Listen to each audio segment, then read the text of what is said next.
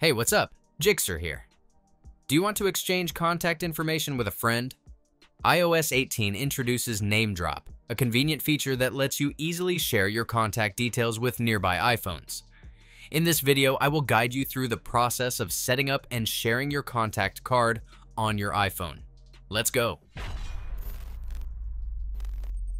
Actually, your iPhone automatically creates a contact card for you using your Apple account.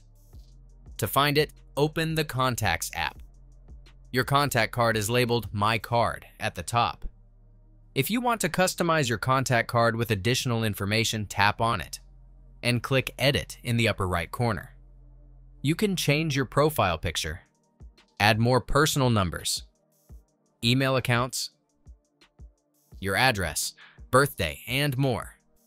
Once you're finished, click Done to save your changes.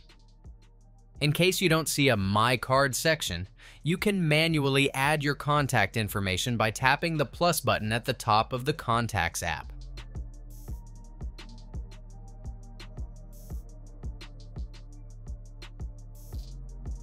After saving the information, find your newly added contact in the list.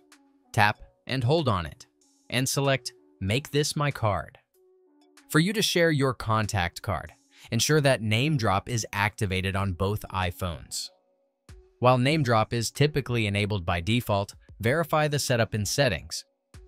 Go to General and open AirDrop. Make sure Bring Devices Together is activated. To initiate sharing, hold your iPhone a few centimeters from the top of the other person's device until you feel haptic feedback and the Name Drop screen appears on both ends. Before sharing, you can customize the fields you want to include by tapping the Angle button and selecting the specific data only. Remember, the last shared fields will be used as the default for future name drop interactions. To start the transfer, click Share on your iPhone and Receive Only on the other device, respectively. Finally, click Done on both devices to complete the transfer. That's it. If I could help you, feel free to give this video a thumbs up and don't forget to subscribe. If you have any questions about the video or other problems with your Apple device, leave a comment below. See you next time.